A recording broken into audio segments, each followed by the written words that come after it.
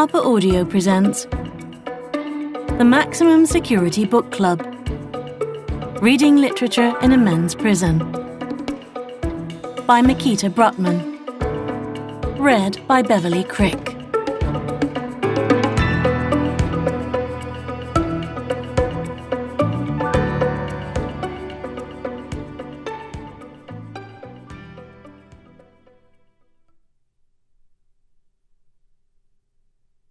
Introduction For the last three years, I've been running a book club at a men's prison. I started volunteering at the prison as a sabbatical project, but it's become a long term commitment. My fascination with this place and the men who inhabit it isn't a new impulse. I've long been preoccupied with the lives of people generally considered unworthy of sympathy, especially those who've committed crimes with irreversible moral implications like murder. Such people, more so even than the rest of us, are unable to escape the past. Right or wrong, it's to the past that we look when seeking explanations for human behavior, digging through family histories to find motives for present tendencies. So here is mine in a nutshell. I was born in Sheffield, an industrial city in the north of England, to rebellious young parents with little respect for the law. It was the middle 60s, my father had a beetle haircut and wore John Lennon glasses. My mother had three children by the time she was 22. On the ceiling above their bed was a purple sticker that said, Make love, not war. They believed that if you didn't embrace the values of mainstream society, the system was stacked against you, and you had to fight it any way you could. They seemed to have no sense of belonging to a broader world and none of the personal authority or autonomy this belonging normally brings. Instead, they saw themselves as victims of the state. My parents began their adult lives as schoolteachers, though neither, in the end, was cut out for the role. My father stuck with it for more than 20 years, in the meantime, fighting the system through minor scams, dodging the entrance fees to parks and campgrounds by lifting us over the back fence or hiding us in the trunk of the car that were so much a part of our daily life, I never questioned them. My mother's style of battle was different. She became radicalized and enlightened, got divorced, stopped cooking our meals, gave up her teaching job, and joined the local Communist Party. She decided my brothers and I no longer needed adult supervision. My brothers stopped going to school and started getting into trouble. They knew they could get away with it. Our mother regarded social workers anxious parents, and the police as squares who were against freedom and hung up about sex. Selfish, narrow minded types who only cared about the values of the man, as opposed to loving, free thinking, broad minded people like us. By the time I was 16, my two brothers had both moved out and gone on the dole. In Sheffield in the 1980s, it was perfectly normal to live on state benefits. Everyone did it. I hardly knew anyone with a job. My brothers lived with friends who played in bands, smoked pot, and made their homes in squats or state subsidized housing. My younger brother became addicted to heroin and spent a brief time in prison on pre-trial detention for drug possession charges. Once both brothers had left home, my mother rented out their bedrooms to hard luck cases she met in the pub. Feckless, single mothers, addicts, and ex cons who shared our bathroom, kitchen, and television room. When she took in a pedophile on the run from the law, I stopped going downstairs at all and retreated to my attic bedroom, where it was so cold I could see my breath. Whenever I complained, I was asked, Why don't you put on another sweater? I closed the curtains, huddled by the electric radiator with my cat, and escaped into books. A habit fostered not by my teachers, I should add, but in spite of them. The government body that eventually closed down my school described it as one of the worst in Britain. Poverty invades the school like water flooding a ship, concluded one investigator. All that time spent reading paid off. I won a scholarship to study literature at Oxford.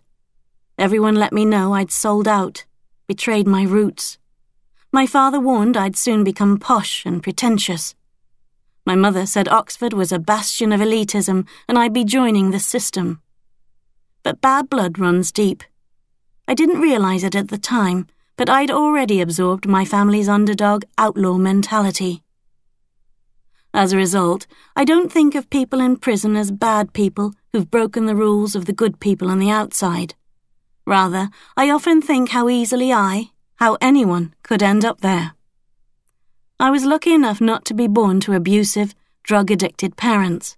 Lucky to be born with a good mind, to be given education and health care and decent food. Of course, not all those people who end up in prison are raised in poverty. Even the most stable and prosperous life can be derailed by an impulsive move with tragic consequences. Shooting an intruder, punching a girlfriend, knocking over a pedestrian. Plus, many people in prison claim they are innocent. Why should I disbelieve them? What separates me from these unfortunate souls except my own good fortune? My good fortune so far, I should say. I could still end up behind bars. Let me add, in case you get the wrong impression of me, that I'm a quiet, private, law abiding type with no criminal record. I've worked hard to build myself the kind of life I find comfortable, but I've also been incredibly lucky. I've had all kinds of opportunities that haven't come to others, including a world class, state financed graduate level education. To put it simply, I can't help but feel a powerful allegiance to those whose lives haven't worked out so well and it's partly this feeling that drives me to volunteer at the prison, where I work with the same kinds of people I used to hide from when my mother took them in. Sometimes I worry the compulsion that draws me to these men is less an allegiance than a stranglehold, a form of survivor's guilt that, with enough time and therapy, I'll learn to shake off.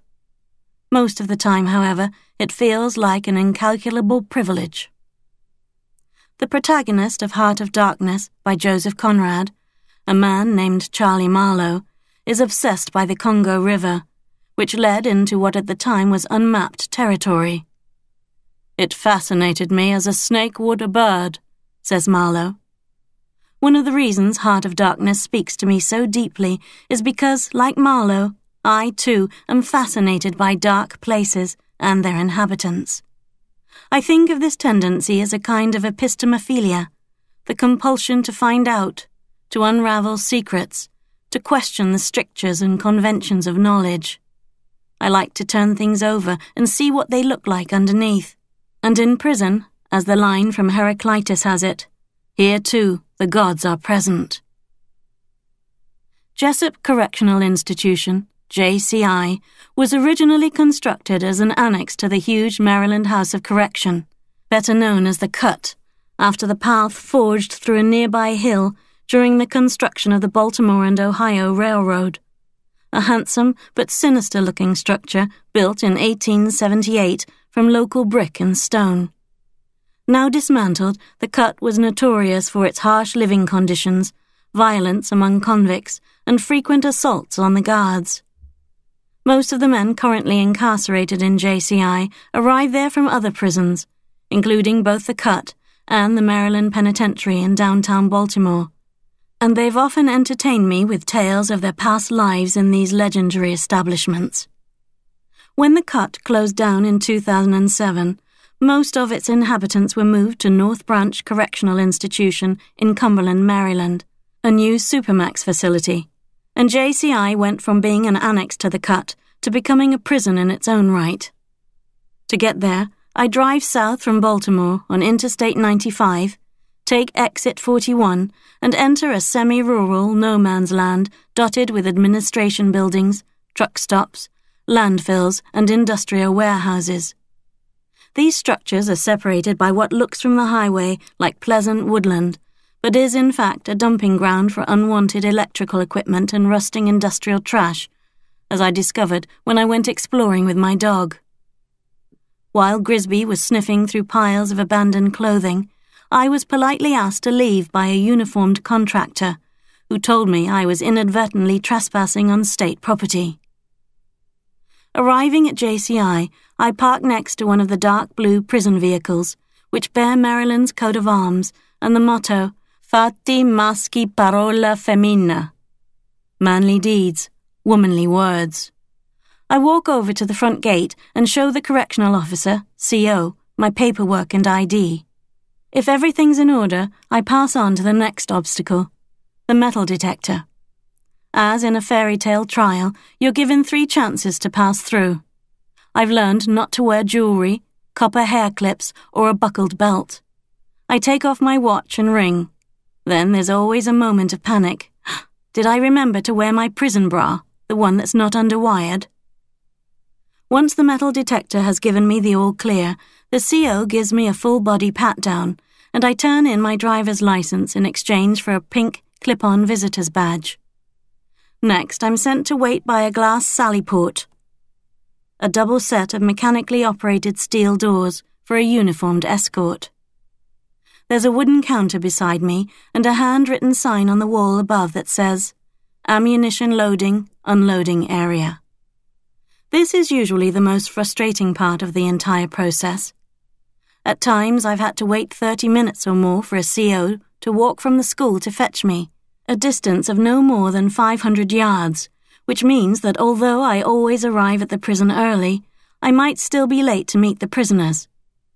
As I stand waiting, COs will come up to the stand beside me and load or unload their weapons, depending on whether they're coming in or going out. The process makes a metallic clipping sound, like a paper hole puncher. Many are cordial and friendly, some are taciturn. A few seem to be deliberately unhelpful, making it difficult for me to avoid the conclusion that I'm being held up on purpose. I'm unable to contact the prisoners to let them know I'll be late, but they're never annoyed or impatient. However late I arrive, there they are, waiting for me. Where else do they have to go? According to hiring advertisements, the position of a correctional officer in Maryland requires the ability to read a limited number of two and three syllable words and to recognize similarities and differences between words and numbers, the ability to add and subtract two digit numbers, to multiply and divide with tens and one hundreds, and the ability to perform these operations using units of American money and weight measurement, volume, and distance. This last clause underscores the fact that many COs are African immigrants, mostly from Nigeria.